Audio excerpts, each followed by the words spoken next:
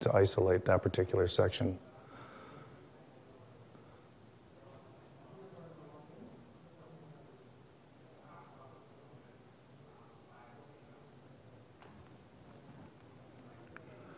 And there he grabs the middle one.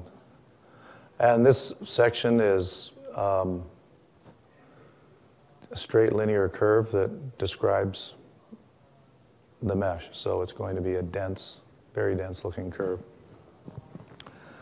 which is completely unusable.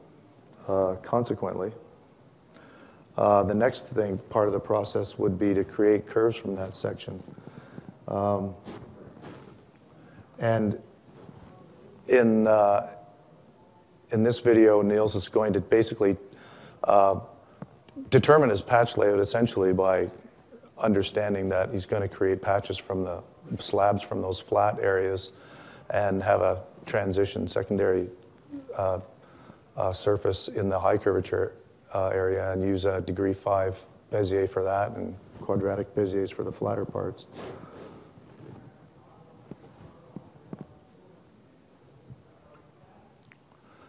Here he used his fit curve to put a quadratic uh, Bezier on this and checks the deviation to make sure it's all cool.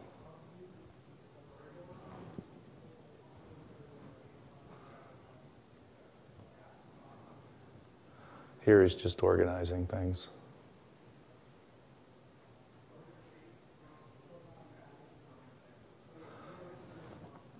So next he's just going to use edit point curves uh, and raise the degree of quadratic and make them, as Barry had mentioned in the previous class, starting as simple as possible.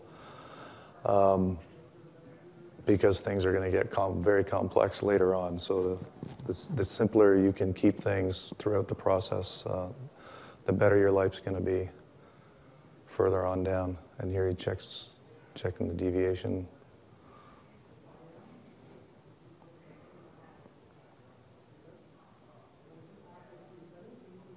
and he creates another one on the top here. And because they're simple, when you extend them, they extend nicely and you can uh, see where they will intersect. If you create complex curves from the beginning, they're not going to, they're going to end up doing this when you extend them or that, and, and good luck creating a curve to, to transition between those in the middle uh, afterwards.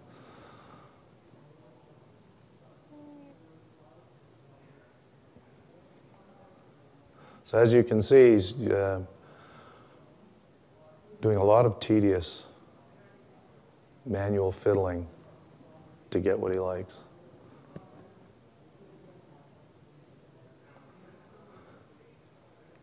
So then he'll scale them back to the point of transition to the the high curvature part in the middle and then make a blend curve in the, uh, between those uh, that's degree five.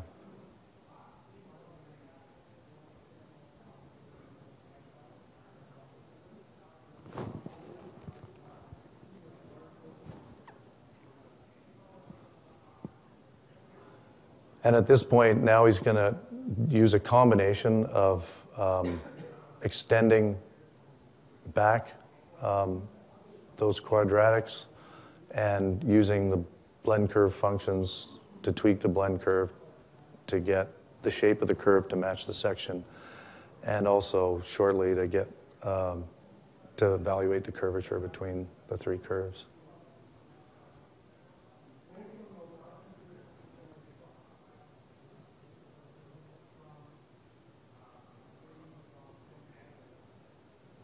So you can see how that's uh, not so good up in the sharp corner there.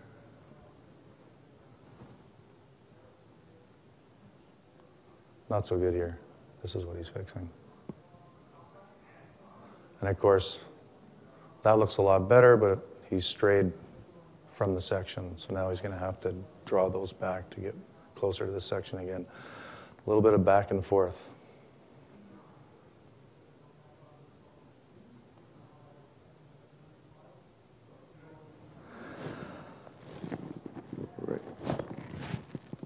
Um, In, the next, in this next video now, he's going to create uh, surfaces from the curves he makes, and he made in the last one. And he's brought in the sections that he'd cut from before uh, to match to. Uh, and he's going to create a double-sided draft surface with this center line. And because this object is obviously, this uh, console is is symmetric. He's going to use uh, symmetry planes so that when he starts doing direct modeling, he can do one side and the other side will follow.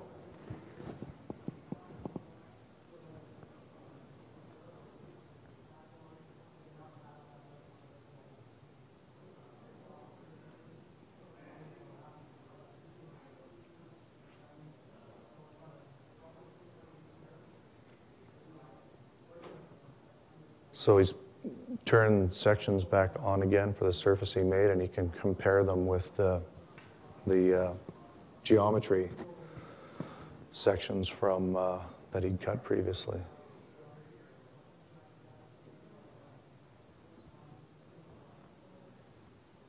Those are the symmetry planes. So now you can, with the Transform CV tool, he can now modify those rows and bring the surface down to the scans. The Transform CV tool is pretty much a bread and, bread and butter tool in this process, along with Align. And we continually upgrade those tools uh, every release. There's always something we need to do to improve the workflow, streamline it, make it faster, make it more accurate.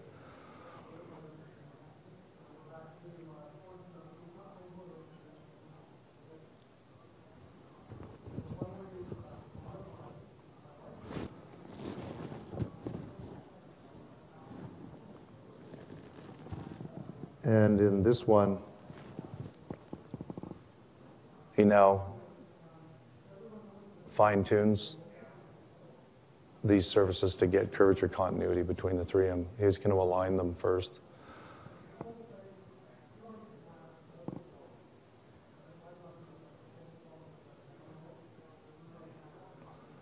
That way, when he works on the curvature rows with Align and the the middle surface, the two end ones will move. When he extends the end surfaces, the middle one will, will follow. So he's working with simple Bezier surfaces, but with these tools he can uh, manipulate all three at the same time.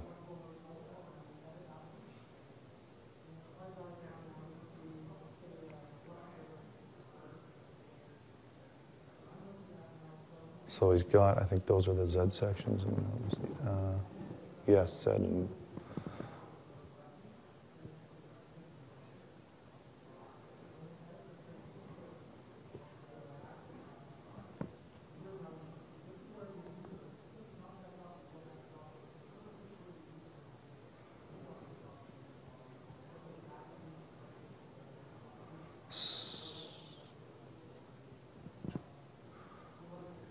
Okay, he's going to turn on Align shortly.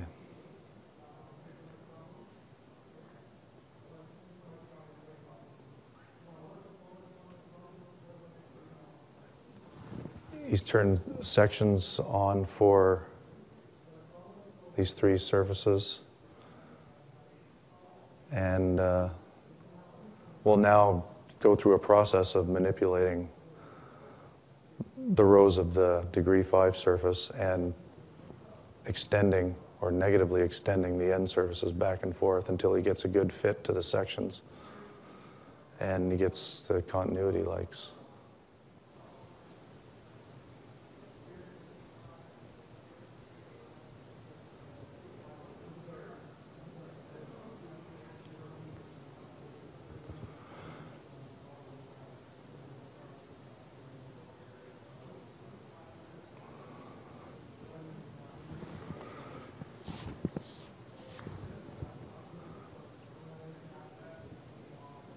Surfacing to scans using this method is pretty tedious, and you can imagine in the early design phase, if the design's changing and the scans are changing frequently, it's, this is not something you want to be doing over again.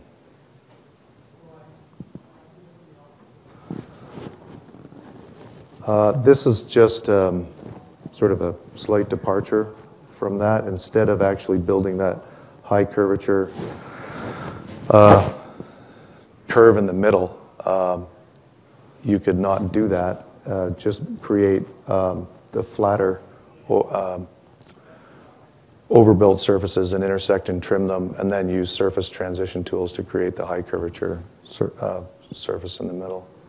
Oops. You wanted to hit play.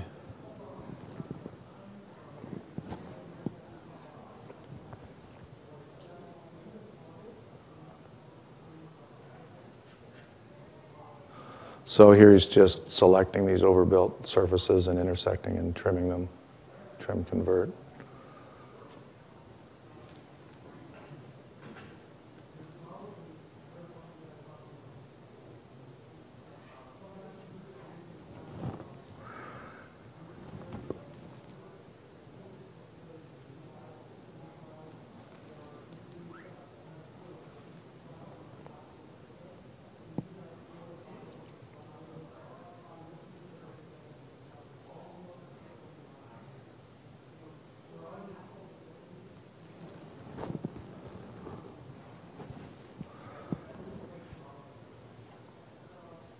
And eventually he ends up with this overbuilt shell, and he can, I won't go into the secondary surface creation there. Then finally, building transition surfaces. Um, And this really is just showing um, building general fillets. This is also 2013, so you're not actually seeing the form factor um, UI in this particular video. Um, but the last two releases, 2014 and 2015, um, we've done a significant amount of work in the filleting tools, in all of the rolled edge tools, um, surface fillet, symmetric fillet, fillet flange, panel gap, freeform blend. We've put this form factor um, we've introduced form factor so that those uh, tools will create um, fillets that will all um, work with each other uh, uh, when the tools are used in conjunction. Um, we've also worked on the chord fillet math. We've rewritten that so that chordal fillets play nicer with freeform blend. Um, and we've worked on fillet extensions. All of this is really to get consistency in, in all of the tools that are building transition surfaces. Uh, and uh, just to finish this off, um, this is just evaluating the final result. In this particular case, the, the tessellation tolerance is low, so he just cranks it up to make sure that that's what the problem is, not his model.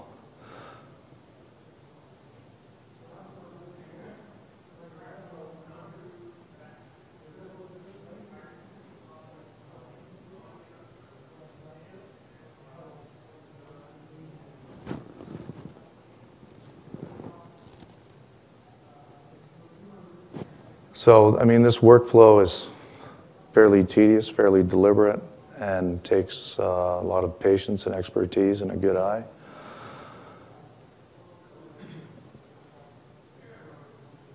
And there's the, the final console. So, um, and for Auto Studio 2015, uh, after it shipped, we shipped a subscription release uh, that has some enhancements. Um, not for this particular, well, for mesh preparation and for creating surfaces uh, directly on meshes. Um, so we've, we've added some uh, new uh, selection methods uh, in, and there's now three tools that'll have these selection methods, subset smooth and a new tool. Um, so we've added brush and normal angle to the usual um, lasso method. Um, we've also improved the fit scan tool. The fit scan tool is traditionally used actually when you've already got surface built to scan and you get a new scan that has changed and you want to fit uh, your existing surface to the new scan, um, that's what it used to do. It was a bit history challenged. In other words, uh, it was not sort of up to snuff with the rest of our tools um, as far as uh, our history system. So we've uh, fixed that and also allowed you to create surface with this tool. So you can click four points and, and create a surface on the mesh. And we've added a new mesh tool called Surface from Mesh, uh, developed in collaboration with uh, Virtual Shape Research guys. And this allows you to create a surface directly on the mesh. Uh, these videos are created, uh, this is in Alias 2015, uh, and they were created by uh, the product designer who works on Alias, Jonathan Brown. Uh, and here's, uh, this is the mesh preparation video I skipped in the previous one. So he'll load a mesh and do the usual dialing down the transparency. I almost think that the default for that should be different. Um, and he'll shade it up. and uh, run the mesh repair tool on it. And this will analyze the mesh. And this is a pretty good mesh, so the degenerate triangles and manifold passes and the consistent triangle orientation passes. But it's found a couple of holes. So it uses the hole fill tool.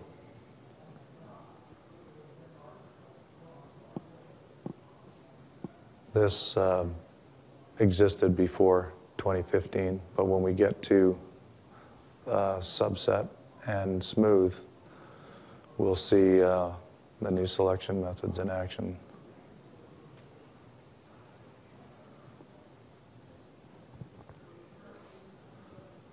So he puts the curvature evaluation shader on, and this particular model has some pretty tight, um, high curvature areas. So it's, very, it's pretty well it's well defined in this regard, and that this is going to help with certain kinds of selection and maybe not with others. Really, it'll depend on what how your mesh looks in terms of curvature as to which ones you can use. Here he's found a blemish on the roof, and uh, when he puts on uh, the smooth tool here, initially it started out in normal selection mode, which isn't really appropriate for this case, so he switches it to brush and he can just select the triangles that are on that bump and run the smooth algorithm a couple of times to smooth it out. That one looks okay.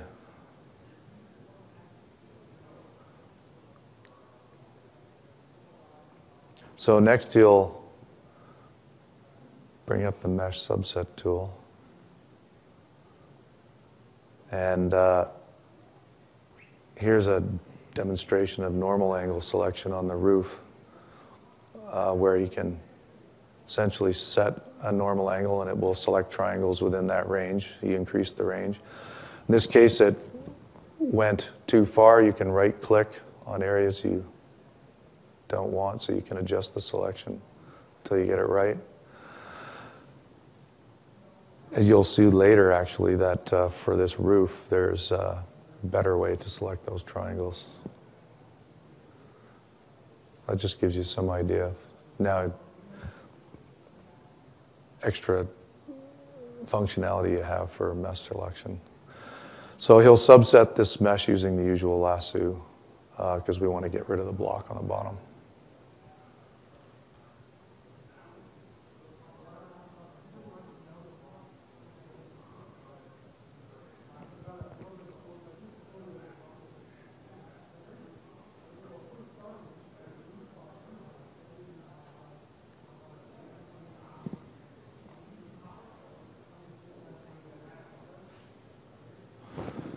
Um, so the FitScan tool, uh,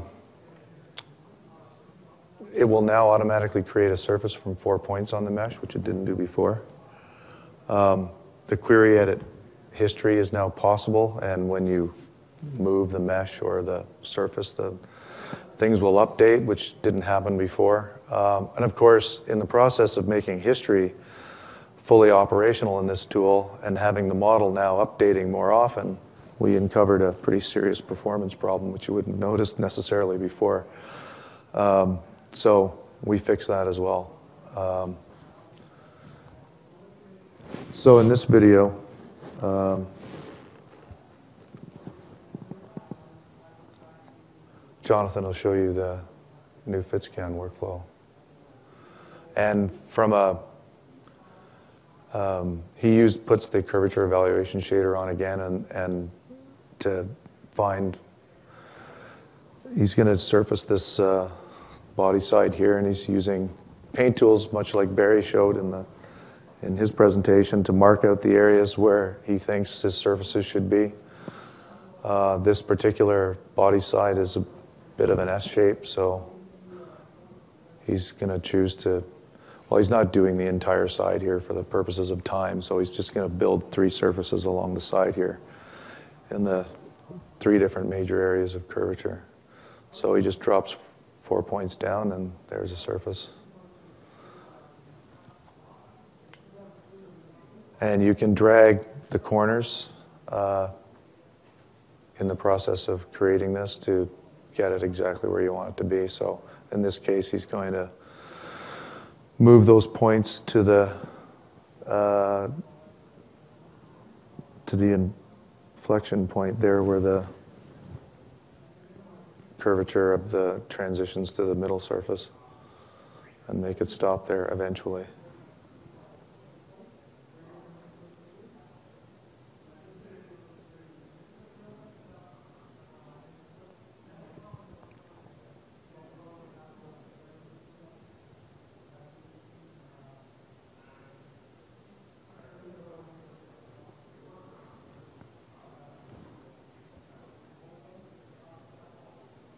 And I think at some point you'll turn the deviation on.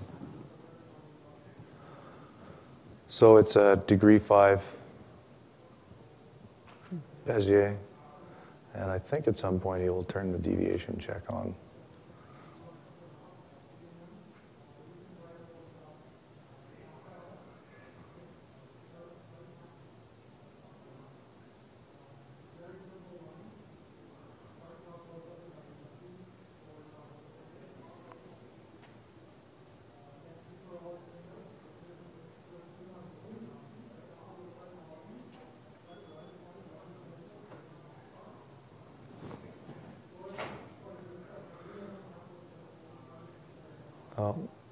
Maybe not now. so he's doing the second one now. The, the first question you might ask yourself is why didn't it build to the edge of the first one? Uh, we asked ourselves that too, and so you could imagine that would be one of the first improvements subsequent to this that we do. I don't think it's such a big deal uh, at the moment. I mean, you can align the three surfaces he makes afterwards and essentially accomplish the same thing, but I think it would, uh, Think would be convenient. He's with a deviation check on now. And maximum deviation in this case is a millimeter and a half.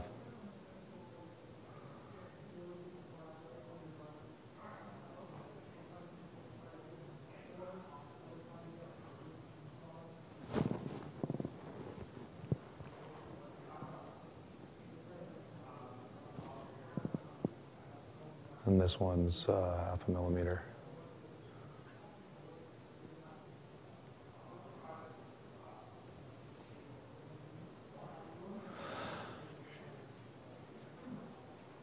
So I think um, building these three surfaces using this method rather than cutting sections and fitting curves and building surfaces from those curves is a little bit faster. Uh, I think he's now going to align them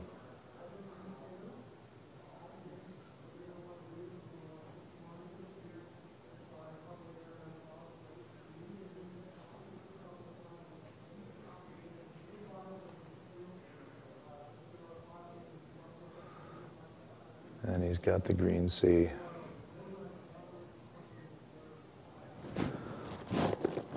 Uh, the next thing I want to show you, improvement I want to show you is the surface for mesh tool. So this was developed uh, with the virtual shape research guys.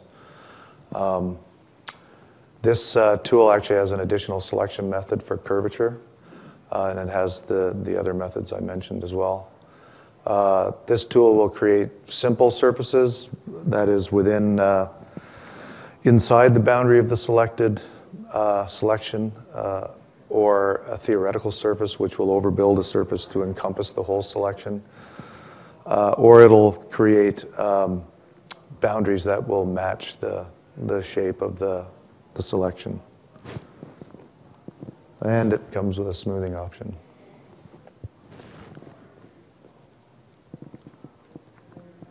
Uh, go. Here we are.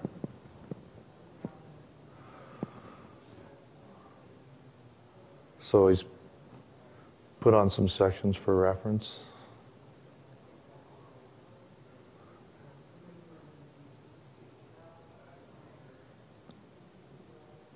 So here's a, this just is showing the difference between, you know, painting on using a normal angle selection, which works just fine.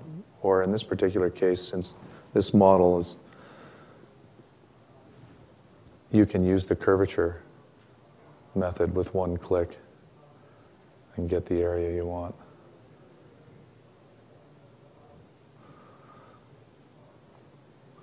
So he just hits build. And that's the simple surface that's contained within the selection. And you'll change that. Uh, this is the mesh boundary version of it, where the boundaries of the surface are trying to match the selection area and then the overbuilt theoretical surface.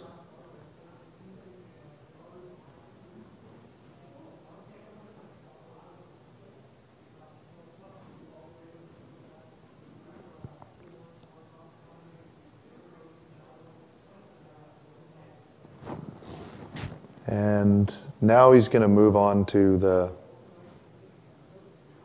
we'll do the body side like we did with the FitScan tool. In this case, though, he's going to choose his similar patch uh, selection, but he's going to use paint, uh, the paint, the brush mode, sorry, to uh, select the mesh.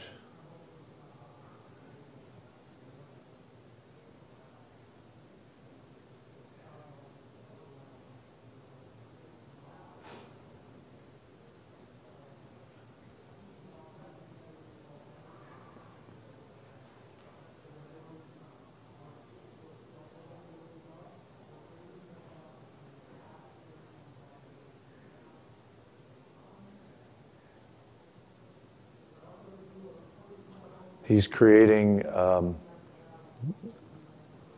theoretical surfaces in this case. Um, improvements that we want to make this are, you know, I mean, this is the first iteration of this tool, and we already have uh, ideas for to improve it some more. It would obviously be useful if you could grab the boundaries and extend them or extrapolate them. Now he has to go to the extend tool to do this. But I think we could do this within the tool. And to be able to grab the four corners, obviously, as well.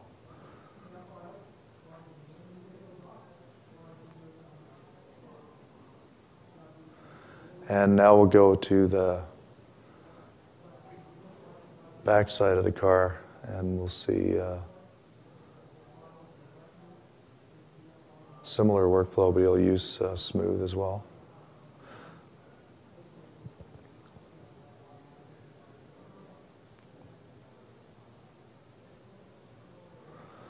And you'll see also here that um, he's going to adjust the selection after it's been made and after the surface has been made and the surface updates to the adjusted selection.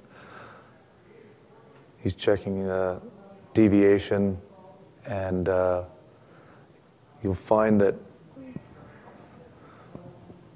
somewhere down here, the triangles of influence, there's um, the deviation to some degree and they don't need to be considered, I think, without losing design intent. So he can erase some of those triangles from consideration and the surface will update and you'll get a better surface out of it. there.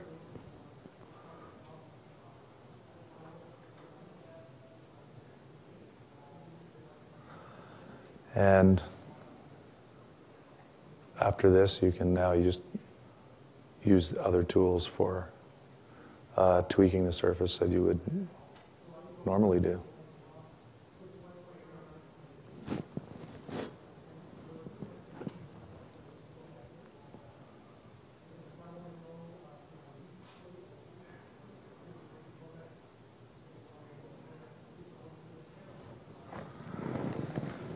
Um, so the next thing I will uh, touch on is uh,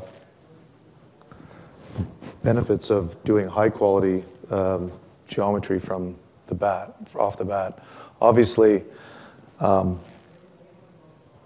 in order to make this uh, quick, more automatic methods can be used.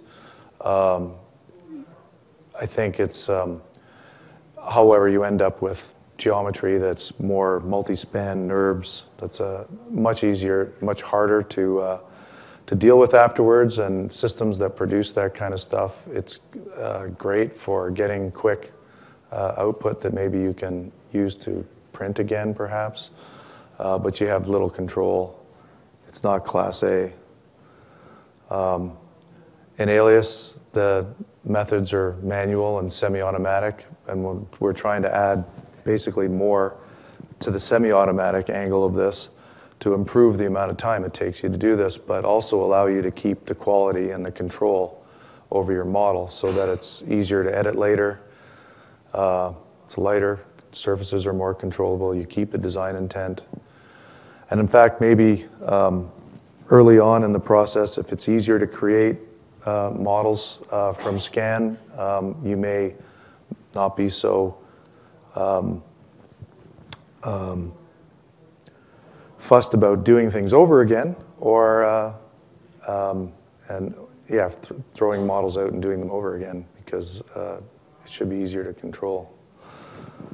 Um, so that's um, pretty much it for my presentation. Um, so based on the feedback we've got so far on these tools, um, as I said, we from surface to mesh, we want to try and add uh, some manual extension, extrapolation of the boundaries uh, after the surface is created. Uh, we want to add corner manipulators uh, like in the FitScan tool. Um, and probably add symmetry actually to the surface to mesh tool so you can um,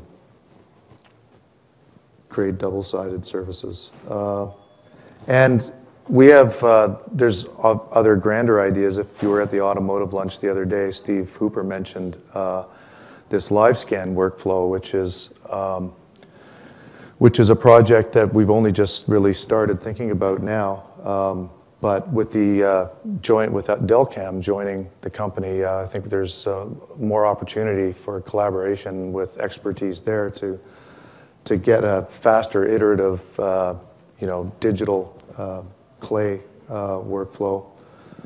Um, so I'm looking forward to working with them soon on that. Um, and also, we'll continue to collaborate with the virtual shape research uh, developers in Ronenberg. They provide a lot of uh, good mathematical expertise. Um, and that's, uh, that's basically it. And uh, don't forget to fill out the session feedback form. And are there any questions?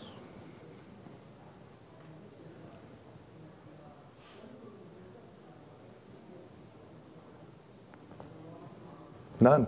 This will be in Surface and automotive, or which license models are these? Ooh, tricky question. Uh, they're in Auto Studio. Surface from Mesh is in Auto Studio. FitScan was, I think, was already in Surface, so the improvements for that are in Surface, but I think Surface from Mesh is in Auto Studio. The selection, mesh selection would be in, I think, all of the, all of them. I think the mesh tools might even be in design. So whatever, you know, the tools that we improved, whatever product had those services are going to get, uh, had those tools, will get the improvements. I think Surface from Mesh is in Auto Studio only.